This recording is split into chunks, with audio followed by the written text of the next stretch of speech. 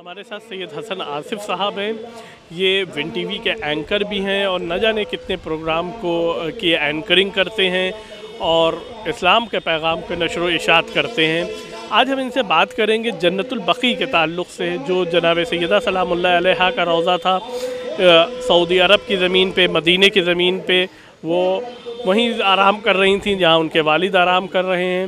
اور اس روزے کو سعودی عرب حکومت نے اقتدار میں آنے کے بعد منظم کر دیا۔ کیا وجہ ہے کہ ترانوے سال گزر چکے ہیں؟ مسلسل شیعہ کمیونٹی جو ہے، شیعہ مسلک جو ہے، وہ احتجاج کر رہا ہے تعمیر نو کے لیے، لیکن ابھی تک یہ تعمیر نہیں ہو پائی ہے۔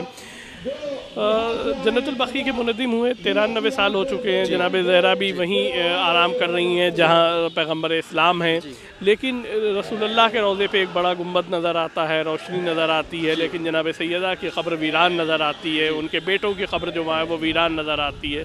ترانوے سال میں ابھی تک وہاں پر ایک اینٹ بھی نہیں رکھی گئی ہے تعمیر نو کے نام پر۔ اور احتجاج ہر سال ہو رہا ہے۔ کیا وجہ ہے؟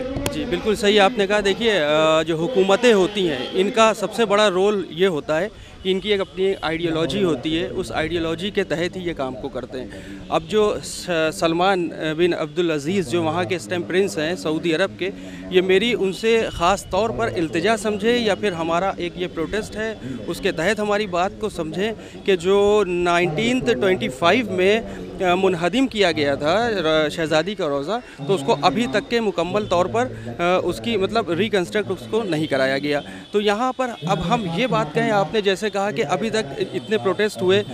شاید یہ ہمارے تقوی جو کہا جاتا ہے، یا پھر ہماری جو پریزگاری ہے، وہ کہیں نہ کہیں دخل اندازی بنی ہوئی ہے۔ جس طریقے سے آپ دیکھیے، آج تو موسم بہت اچھا ہے۔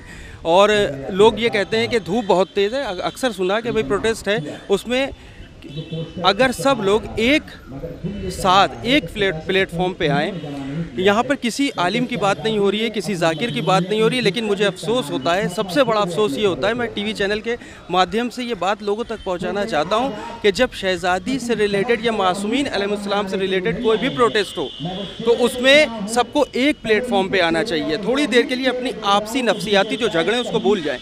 اور سب ایک ساتھ کھڑے ہو کے ایک آواز بلند کریں سعودی حکومت مرد آباد اور تبھی ہم یقیناً شہزادی کے روزے کو بنوا سکتے ہیں۔